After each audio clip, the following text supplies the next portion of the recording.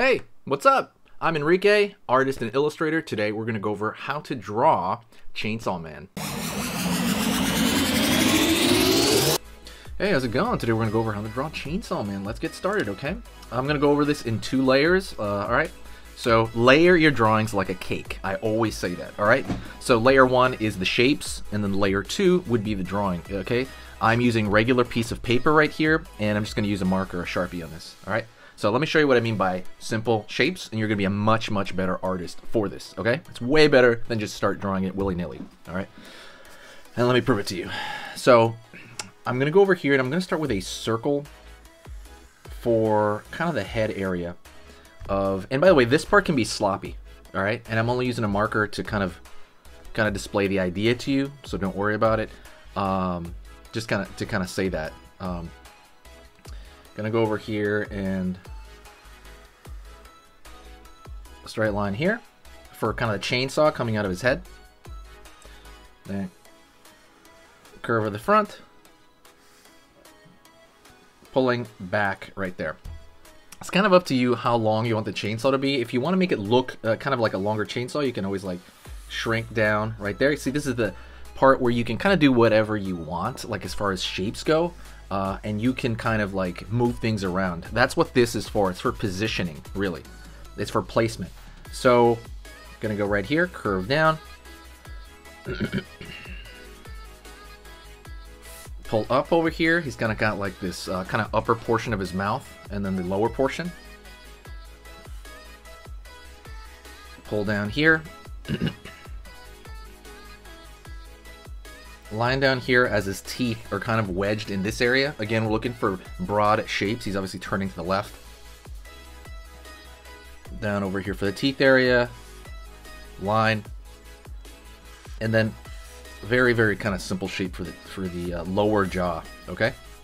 Again, we're making this just for the under tracing. So after this, I'm going to put another piece of paper on this so that I see the placement of stuff so that I don't have to think about placement. All right. I'm going to kind of say this every video. This is how I do my stuff. So absolutely, I would say adopt this method. Um, a few people on YouTube are teaching this kind of thing, but I would say um, i want to make it like the core of the stuff I teach here. All right. I'm to go over here and make a circle kind of in this area. Up over here. Angle back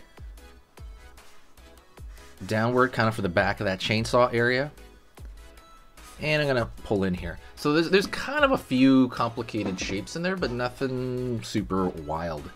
Um, just kind of keep that in mind.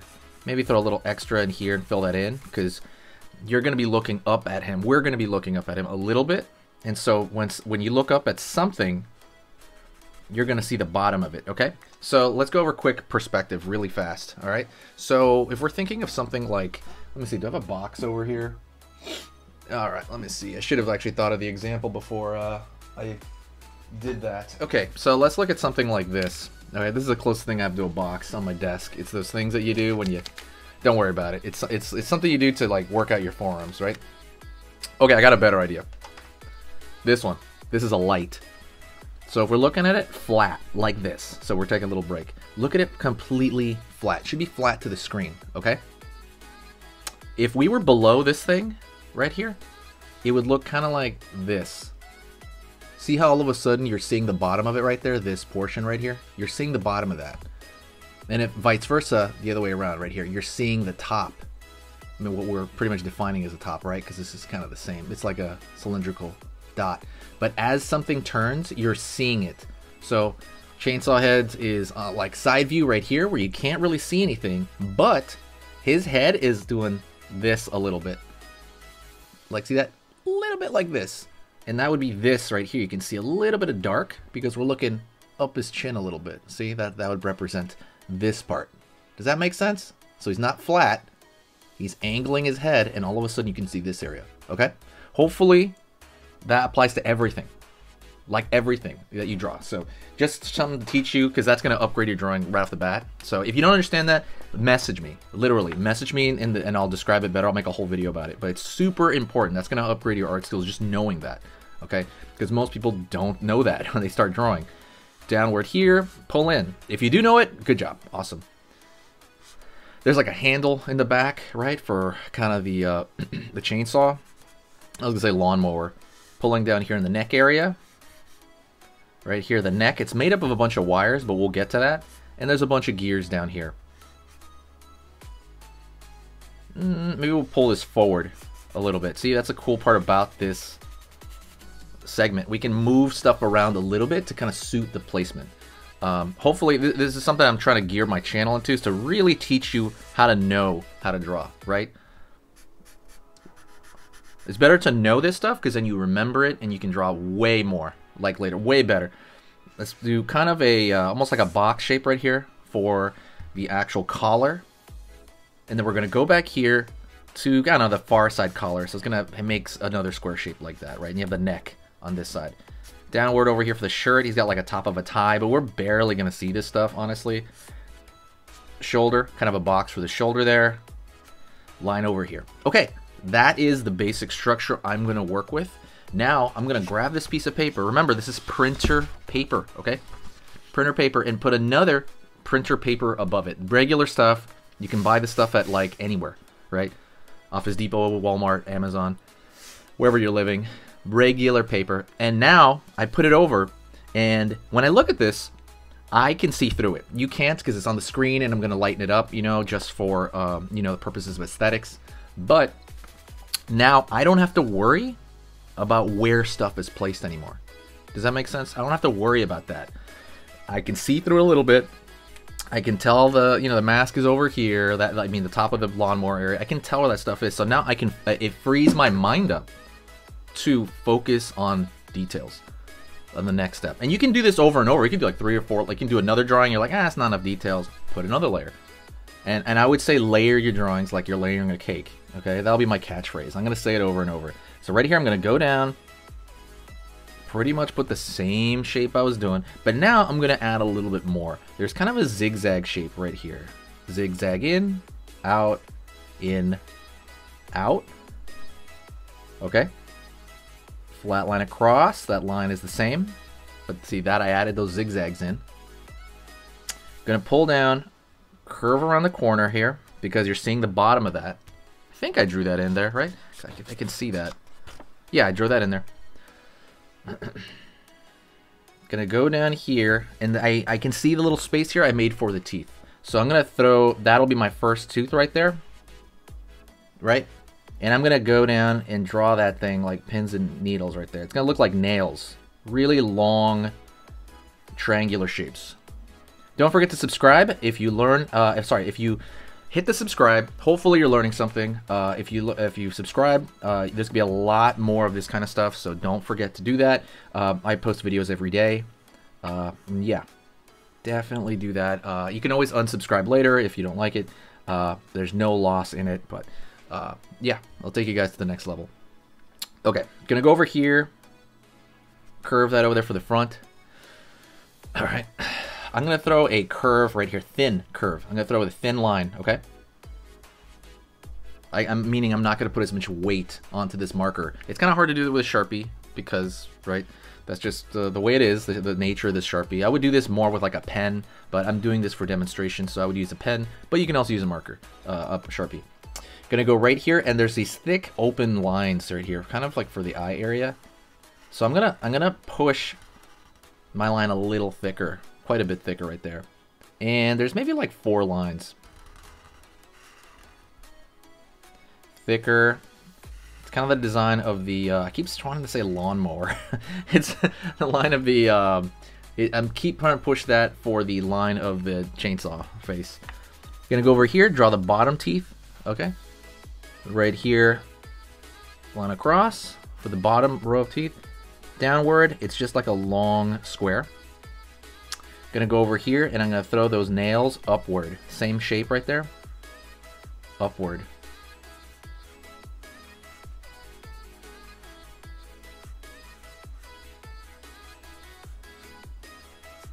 Like there, okay?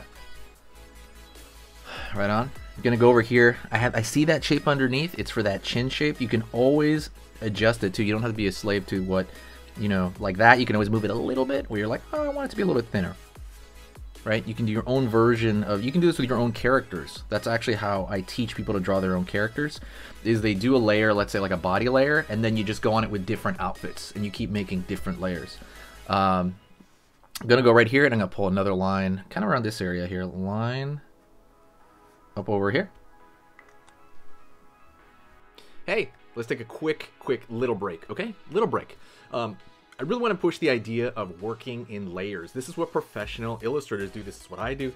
This is what almost everyone I know, all my peers do when they do professional style illustrations. You work in shapes first, then you put in details later, usually many layers of detail.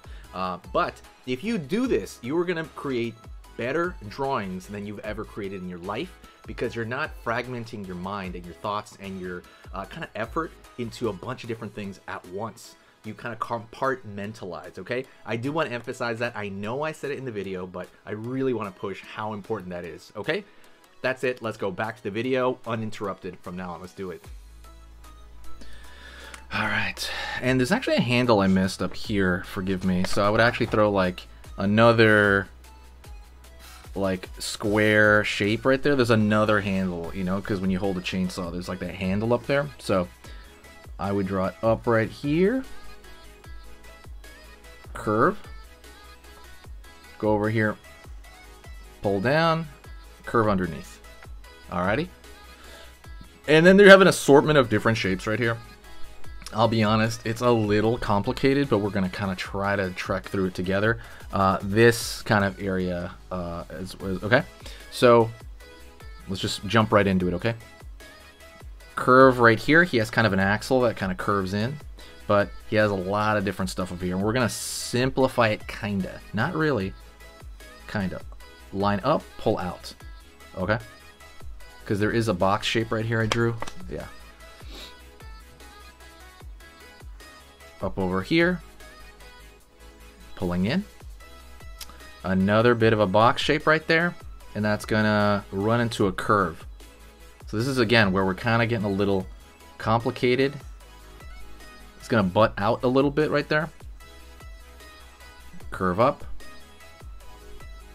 line up, pull in and line up. See that this area right here is going to be a little complex and it could also be subjective. You can kind of move it around, but I do notice that there is a circle in the center of that. Another circle right there, just inside of that. Curve around here. Out, out, curve along this side. It's like this knob that pushes out, right? That's in the center of that. We're to pull out over here, curve, kind of in that area, kind of meets with that. Line down here, up, maybe a square, and it's to just kind of pull up in this area. This part, again, pulling out. We're to have another curve in this area. Forgive me if this is too difficult, but um, absolutely if you need to pause this, pause it. And that's going to connect down here. This is the hardest part of the whole drawing, okay? Forgive me. Line, line. Going to go downward. We're looking at the bottom of this kind of square shape. Pull down. Go over here. Downward. And we're going to have these kind of ribbit shapes back here. We're to split that, and then we're going to chop those up into three. One, two, right there. One, two, around the corner. We're gonna have a knob that comes out of here for the other handle. That's mostly the important part. This part's okay. The important part is the handle. So from there, it's gonna go up, downward, downward, because he's he's turning his head that way. Remember, he's turning his head uh, like we had in the uh, the little shape there, which I lost. Same thing goes for this down here we're going to see this is going to be pretty much for our drawing we can fill it in black because we're looking up at this and it's catching uh, shadow. I would say you could do the same thing over here for the handle. Alrighty. And then we have the handle that's coming out of here into this. So out down in out down in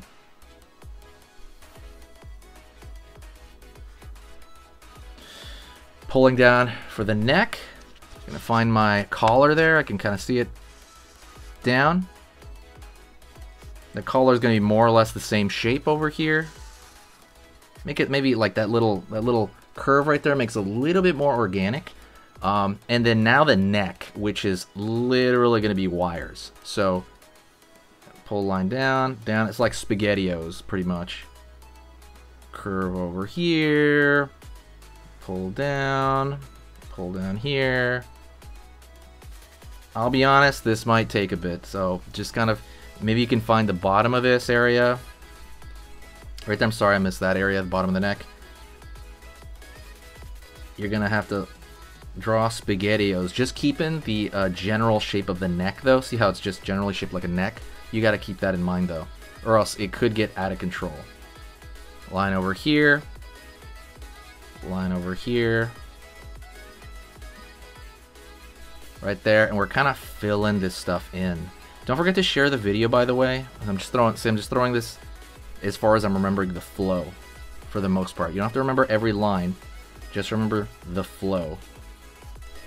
Okay, so now you got the flow of this like wired neck right there.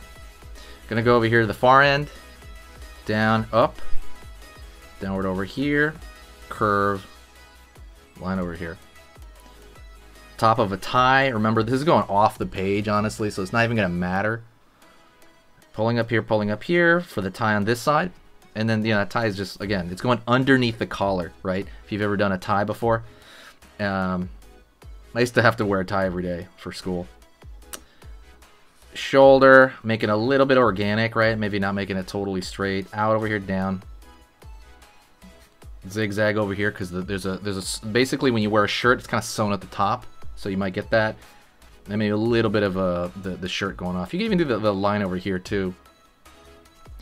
So, all right, let's go to the most important part. What's missing? Nothing, right? Nothing's missing. I'm joking. The chainsaw is missing. So let's go over here and try to draw that shape as straight as we can. I'm going to start over here from the curve. Remember, we made that shape thinner. So just something to take into account. And I'm going to make it from here to here. If you have a hard time drawing a straight line, um, that's completely fine. Just take it slow. You don't have to do it all at once. Right? Take it slow right here. Uh, I'm gonna and I'm gonna make it about this area, and so I'm gonna like like we can do it in chapters. See, a little bit, boom. Let's just go take lunch. Let's hang out, right? You don't have to do it all at once, right? Uh, you don't have to do it all at once. Go over here, kind of going blind there. All right, there we go. Because my own hand was blocking me, right? So we have that. That's our overall shape. I'm gonna go on the inside of that and make another line because we have a moving chain right there. So I'm, i have to do literally the exact same shape, but on the inside. Right there. Definitely give the video a like. Uh, it helps the channel a lot. Cool, cool. And now along this, we're to draw... That's the easy part, right? Just like line right here every couple of feet, whatever, every couple of inches here. Or centimeters, whatever. It's to make it look like a chain. Okay? Good, good so far? All right. Now we're to go in here and we're to draw the spikes in the chainsaw. So the spikes are kind of like angled spikes. Every...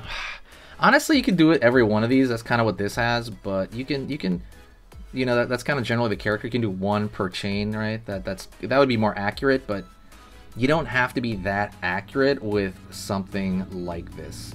If you get it close enough, you get the impression. No one's gonna go, oh wow, what that, that doesn't match the chain, right? No one's gonna do that unless they're really, really, really nitpicking, right? So you don't have to do that. Let let let you know, like let's let's skip one there. Nah, I, I gotta do it. I gotta do it. Just make it proportional, and it'll be all good. You just want the impression of the character uh, you don't want like every technicality. Like this gives you the impression of the character. If you want, we can throw the other shape in there. Um, you can throw a little robot shape, but for the most part, we can fill in this dark area in here as well. I'm gonna pull line, fill in dark here. Right, we can add a few more darks, maybe kind of in the uh, I don't know, like under the neck over here, we can fill that in because that's a that's a dark area anyway. Like the actual part of that is dark. Right here around the the, the mouth, in the innards of the mouth, that can definitely help. Um, you don't have to though. Most of the darks are kind of around this jaw area, and then behind the jaw over here.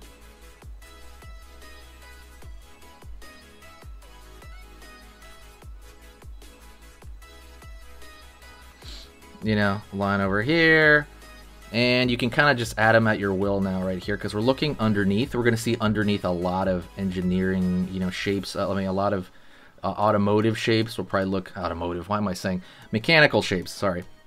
We're going to be looking underneath a lot of stuff. So, but like I said, don't feel like you need to be completely accurate with this kind of stuff. Just as long, again, if you get the impression of it. I hope this helped you out. If it did, absolutely uh, say it, you know, in the description, and also check out the main website and the courses I have. I have courses on Skillshare. Uh, if you go to the link below, uh, go check out the full-blown courses on anatomy, on on um, on watercolor. I have the, how to draw the face. I have all that stuff there. Go take a look at that if you enjoy this kind of stuff. And uh, yeah, that's pretty much it. If you really want to learn how to draw, uh, stick around. I'm going to do a lot more here, or, or, check out the courses, or check out sketchingeasy.com. That's where I'm going to post uh, full blown courses as well. Not currently, but uh, I'm going to post some maybe later. I'll do another circle here. Thank you so much. I'll see you next time. All right. Have fun. You're amazing, and I want you to have a great time. Well, let's do one more thing as a bonus. You can draw the, the, the blood on here. So we can do it with a thin line. Like thin. Make sure it's thin. Put very little weight on it. Just put some raspberry jam right there, right? And you can make it just rando shapes. That's the kind of good part about this part. This is almost like the reward, you know, you can just do these rando shapes with no judgment at all. Not that you have to be judged for anything in drawing, okay? That's it. Thank you so much. I appreciate it, okay? Stay positive, and you can definitely do this. Talk to you later.